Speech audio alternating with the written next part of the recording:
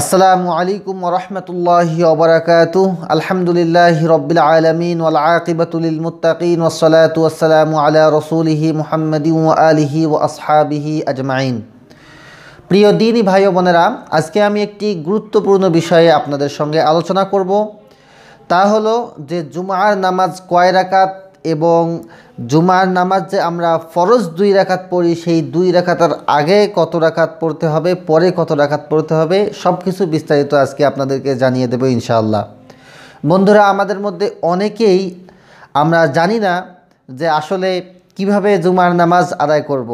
তো শুধু যাই মসজিদে গিয়া ইমামের পিছনে দুই রাকাত জুমার নামাজ পড়ে আমরা বাসায় চলে আসি।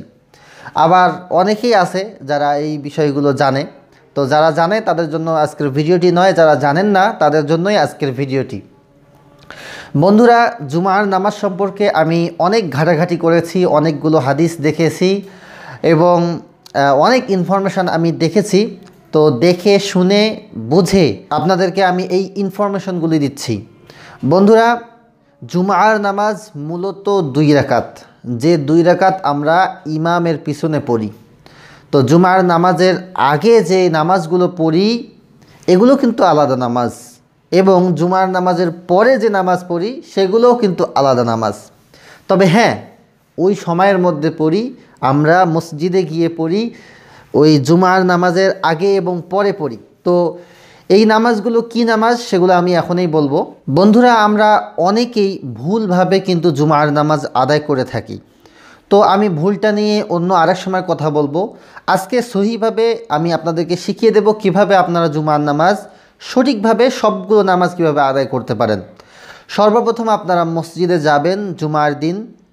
মসজিদে যাওয়ার পরে যখন আপনি মসজিদে প্রবেশ করবেন, প্রবেশ করার পর সাথে সাথে আপনি দুই রাকাত নামাজ পড়বেন। এটাকে বলে তাহিয়াতুল মসজিদ। আল্লাহ রসুল সাল্লাহ আলহি আসাল্লামের একটি হাদিস রয়েছে সহি বুখারিতে। তিনি বলেছেন যে, তোমরা যখন মসজিদে প্রবেশ করো, তখন দুই রেখাত নামাজ না পড়ে মসজিদে বসবা না। এজন্য আপনারা মসজিদে গিয়াই দুই রেখাত নামাজ পড়বেন, তাহিয়াতুল মসজিদ। তারপরে দুই রেখাত নামাজ পড়বেন, তাহিয়াতুল উজু। হজরত বিলাল রাজিয়াল্লাহ তালাহু এই তাহিয়াতুল উজুর নামাজ রেগুলার পড়তেন। এজন্য তার মর্যাদা অনেক বৃদ্ধি পেয়েছে। এ সম্পর্কে একটি সহি হাদিস বর্ণিত হয়েছে। এজন্য আপনারা দুই রাকাত তাহিয়াতুল উজুর নামাজ পড়বেন।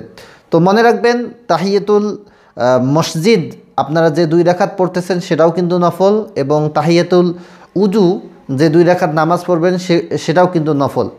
এবং তারপরের থেকে শুরু করে নিয়ে আপনি দুই রাখাত দুই রাখাত করে যতগুলি সম্ভব, যতক্ষণ পর্যন্ত ইমাম সাহেব মেম্বারে ওঠেননি, ততক্ষণ পর্যন্ত আপনি নামাজ পড়তেই থাকবেন। নফল নামাজ। এখানে ধরাবান্ধা কোনো নিয়ম নেই। আপনি যতগুলো নামাজ পড়তে পারেন, পড়বেন। হাদিসের মধ্যে আল্লাহ রাসুল সাল্লাহ সাল্লাম উৎসাহ দিয়েছেন যে, যতগুলি নামাজ আপনাদের পড়া সম্ভব, আপনারা পড়বেন। তারপরে যখন খোদবা শুরু হবে খোদবা শুনবেন। তারপরে যখন ইমাম সাহেব নামাজ পড়াবেন, তখন ইমামের পিছনে দুই রাকাত নামাজ পড়বেন। তারপরে আপনাদেরকে চার রাকাত নামাজ পড়তে হবে। জুমার নামাজ শেষ করার পরে। চার রাকাত নামাজ পড়বেন, এই নামাজটা হলো সুন্নত। চার রাকাত নামাজ আপনাকে পড়তেই হবে। চার রাকাত নামাজ পড়ে আপনি বাসায় আসবেন। আর যদি চার রাকাত নামাজ মসজিদে না পড়ে বাসায় চলে আসেন, তাহলে বাসায় এসে দুই রাকাত নামাজ পড়বেন। আল্লাহ রসুল সাল্লাহু আলহি আসাল্লাম জুমার নামাজের পরে যদি সাথে সাথে বাসায় চলে গিয়েছিলেন, তাহলে তিনি দুই রাকাত নামাজ পড়েছিলেন। আর যদি মসজিদে পড়তেন, তাহলে চার রাকাত নামাজ পড়তেন জুমার নামাজের পরে। তো বন্ধুরা, এই হলো মোটামুটি বিষয়, আশা করি আপনারা বুঝতে পেরেছেন। যদি তারপরেও কোনো প্রশ্ন থাকে, তাহলে অবশ্যই আমাকে কমেন্ট করে জানিয়ে দেবেন। ইনশাআল্লাহ আমি আপনাদের কমেন্টের রিপ্লাই দেওয়ার চেষ্টা করব। আর যদি আপনি উপকৃত হয়ে থাকেন, তাহলে ভিডিওটিকে আপনার বন্ধুদের সঙ্গে শেয়ার করবেন, যাতে করে তারাও এ সম্পর্কে জানতে পারে। আর ভিডিওটি ভালো লাগলে একটি লাইক দিবেন, আপনার মূল্যবান মন্তব্য কমেন্ট করে জানাবেন। আর যদি নিয়মিত আমাদের এই চ্যানেলের ইসলামিক ভিডিওগুলো পেতে চান, তাহলে অবশ্যই আমাদের চ্যানেলটি সাবস্ক্রাইব করে পাশের বেল বাটনটি অন করে রাখবেন।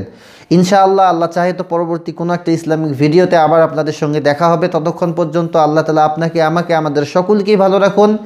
এই আশা ব্যক্ত করে আজকের মতো বিদায় নিচ্ছি। আল্লাহ হাফেজ। ওয়াসালামু আলাইকুম ওরহমতুল্লাহি ওবরাকাতু